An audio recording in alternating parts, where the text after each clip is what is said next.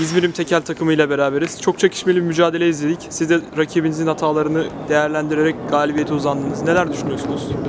Kaptanımız olarak Mehmet abi söyle. Valla e, aslında uzun zamandır ilk maçımızdı bizim. E, biraz rakibin e, hatalarından yararlandık diyelim. E,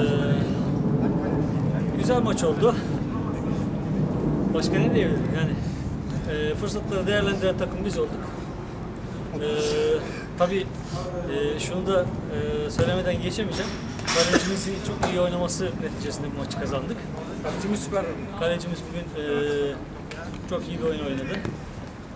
Diyebileceklerimiz bunlar. İlk maçımızdı. Uzun zamandır eee, ara vermiştik. İlk maçımız bu.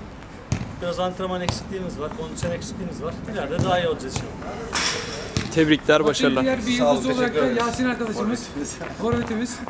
O da döktürdü. Hepinizin ayağınıza sağlık. Karşı rakibi de çok iyi oynadı.